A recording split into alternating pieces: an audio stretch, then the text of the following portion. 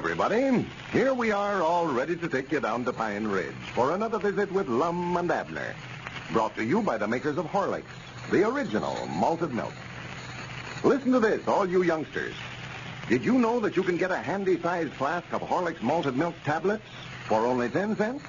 The very same delicious tablets that lots of racing motorists and aviators use to keep themselves on the go. Well, it's a fact.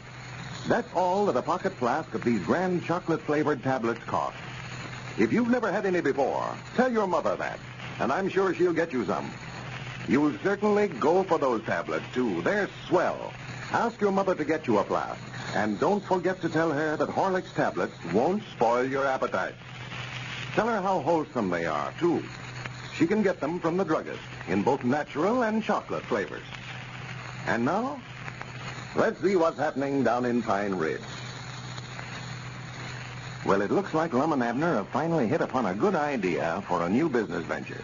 The Pine Ridge Planetarium, their new picture show, is progressing nicely and should soon be open to the public. As we look in on the old fellows today, we find them down at the Jot 'Em Down store discussing final arrangements for their formal opening. Listen. Well, we better be getting some ordered from someplace. First thing you know, we'll have a picture show all ready to open up, you know, moving pictures. Well, Abner, I told you I don't know where to order them from. I've looked through all the mail order catalogs over there at the house, and none of them ain't got 'em for sale. Or I can find none.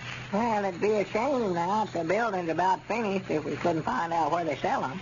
You know, I believe the best thing for us to do, Abner, is to call up that feller in there at the county seat and ask him where he buys his gnats. Yeah, yeah, I could do that, I reckon. I hadn't thought about that. Let me step to the phone here. I'll just call him up right now. yeah, I asked him how Cedric's getting along too long. Huh? I say, I asked him how Cedric's getting along too. Oh, yeah, he ought to have learned all about running them machines by now. And I don't know. Cedric's pretty slow about picking stuff up, oh. He might not have no talents for that picture show business. Hello? Uh, Central? Will you ring the Lyric Theaters, please, Mom? All right. Yeah, uh, tell him what we named their show, too, while you're at it, Tom. yeah, yeah, I believe we've got them skinned on the name. oh, yeah. Hello? It is. Well, good. Uh, just who I was calling. Uh, let me speak to the manager, please, Mom. Mom? Oh, this is Lum Edwards, uh, manager of the Pine Ridge Planetarium. Planetarium? Why, it's a picture show. Yes, Mom. All right. One, she's got to know everything. Acts like she's scared to death something's going to happen that she ain't in on. Curiosity, I reckon. Every time I call up, she wants to know who I am and all about me. Yeah, well, women is awful curious critters. They're the best the same way. Hello? Why, tolerably well. How's yourself? Uh-huh. Uh, how's Cedric getting along in there? He is? Well, that's fine. I'm proud to hear it. Says Cedric's catching right on to running that machine there. Well, Why, what I called you up about, uh, where do you buy your moving picture shows at? Well, I mean the film, the pictures. yeah. Yeah. Oh. Uh-huh. Uh-huh. You're looking for him in there today, huh? Well, I wish you'd send him on out here. Uh, tell him we've got to buy some moving pictures from somebody. Yeah. All right. Much obliged to you. All right. Goodbye. He said there's a regular drummer that sells them things. Yeah. Says he's supposed to be in there today, and if he shows up, he's going to send him on out here to see us. Well, fine. Uh, regular drummer sells them, huh? That's what he says. I figured there must be some way to get 'em without writing to the actors for firm. Oh, yeah, that'd be a nuisance. Well, let's see. We better be deciding what pictures we want before that feller gets here then. Well, maybe we better wait and see what he's got first, huh? Well, he'll have all kinds of 'em more than likely. We just have to tell him what we want and let him get get 'em first. See, different actors is in different pictures. Yeah, well, let's be sure and get one with Charlie Chaplin's in it, Lum. He's my favorite. Oh, yeah. Yeah. yeah, he's a case, that feller. He's always struck me funny for some reason.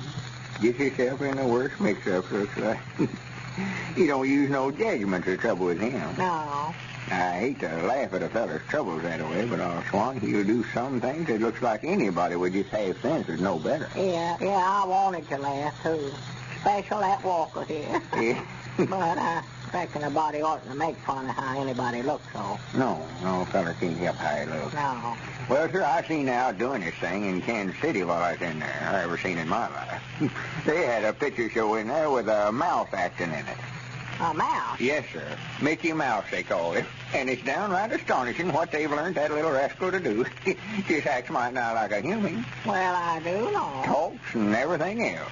Talk? A mouse? Yes, sir. They've learned him to talk just as good as me or you either one. Well, I'd love to see him. Oh, it's the beatingest thing you ever seen. Walks around on his hind legs all the time. Wears clothes and everything. Got a little suit for him. Well, Shoes. I know that'd be funny having a mouse running around the house that could talk, wouldn't it? well, tell you the truth, Abner, I don't much think it's a sure enough mouse. They claim it is, but I think I catched on to it. Yeah. I believe it's a man dressed up like one. A man dressed up like a mouse, huh? Yeah, it stands to reason they couldn't learn no mouse to do the things he done. But I wish you could have saw him. Well, why don't we get a picture with him in it then? Well, if this feller that's coming out here's got one, we will. I think we better get it for a little later on, though. I don't think it'd be best to have it right at first.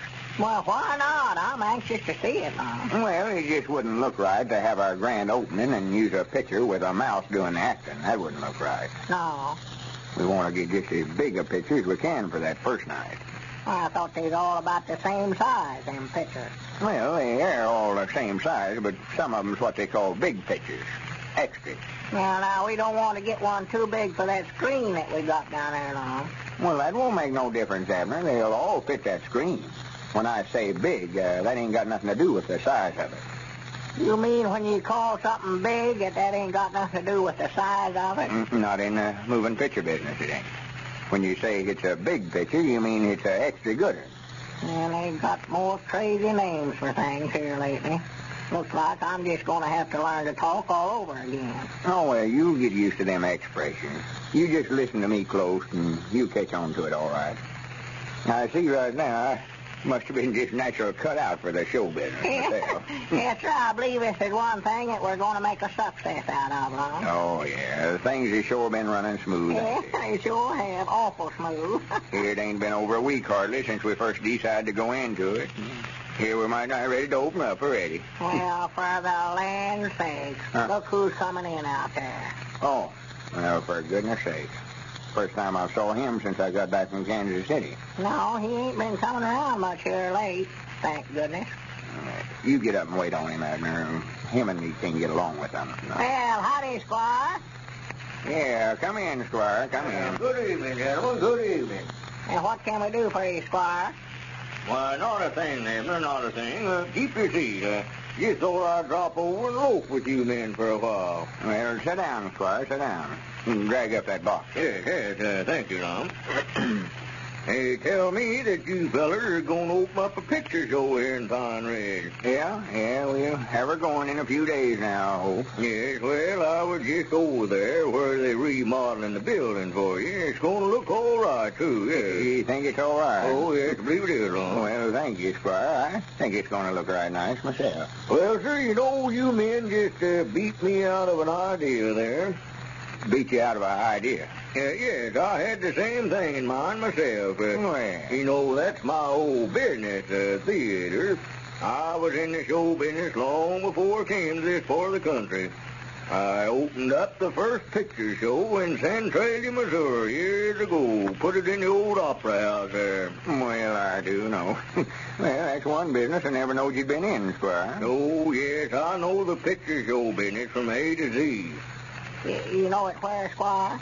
Why, uh, uh, what was it, Abner? Nothing, Squire. Go ahead. What was it you started to say? Well, I was just wondering, uh, uh, how would you men like to have a third partner in this uh, picture show that you're putting in? Uh, you ought to have somebody in the business and know something about it. Well, I don't much think we'd want to take in no third partners. No, I know dead blame well we would, and I don't think nothing about it. You see, Squire, we get to dividing them profits three ways, and they wouldn't be nigh as much for none of us. Er, yeah. Well, but now, along with uh, my knowledge of the show business, oh, I can make more than enough extra profits to pay my share. Uh, how do you figure that, Squire? Ain't much a feller can do, so I'd just take up the tickets and run the film. Yes, well, you learn that there's a lot more to it than that, Lum. It takes showmanship. You've got to figure out different ways to get people to come out. I like on this opening night you're going to have. That ought to be one of the biggest events in the history of Pine Ridge. The opening of our first picture show. Oh, yeah. Why, you ought to have this whole countryside plastered with advertisements. If I had charge of that thing, I'd have the SRO sign out every night of the week. Well, that ain't the name of it, though. It's the Pine Ridge Planetarium. Well, uh, what I mean by the SRO sign, Lum, is standing room only. Oh. I'd have every seat in that place sold every night. Standing room only. Yeah, we ought to have one of them signs. That's one thing I overlooked. I don't know, uh, Granny Squire, but what you would make us a good third partner. You you brung up some pines there that shows you know what you're talking about, all Well, now, just a minute there, before you go any farther.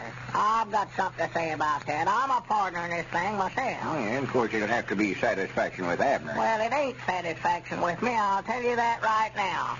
In the first place, I don't want no third partner. And if I did, I wouldn't want Squire. Why, Abner, you hurt Squire's feelings. I don't see any reason why you should feel that way, Abner. Well, maybe you can't, but I can. I've had all the dealings with you that I want to have, and I don't want to have a thing to do with anything that you're mixed up in. Abner, Abner. Well, now, I'm just trying to do you men a favor, Abner. Well, you ain't going to get no third in charge in our picture show, so you may as well just get that idea out of your head right now. Well, all right, if that's the way you feel about it. But I gave you a chance. I'll tell you right now, if you men don't let me in with you, I'm going to open up a picture show right here in Pine Ridge and run competition to you. I'll run you out of business. I'll close that show of yours up or know the reason why. And just as things were running so smoothly, Squire Skimp had to put in an appearance. And now, ladies and gentlemen, here's something I especially want you all to hear about. It's an actual advertisement of the Peacock Soda Fountain, which recently appeared in the Daily Courier of Oxnard, California. Here's what it said. Listen. Peacocks express appreciation. Months ago, after critical investigation and analytical tests, we were fully convinced Horlicks malted milk is vastly superior to the cheaper brands of malted milk because Horlicks is made of fresh, full cream whole milk, wheat and barley malt, and does not contain any cheap foreign ingredients. Since using Horlicks, the original malted milk, our malted milk sales have more than tripled, proving our customers are discriminating and appreciative of our efforts to supply best quality exclusively. We serve a better malted milk, and despite the fact that we are obliged to pay more for this quality product, we do not charge you anymore. Well, I think that advertisement speaks for itself, doesn't it? It exactly coincides with what I've always said about Horlicks malted milk. If your favorite soda fountain doesn't feature it, ask them to get Horlicks for you. This is Carlton Brickert speaking for Lum and Abner and Horlicks, who now bid you all good night and good health.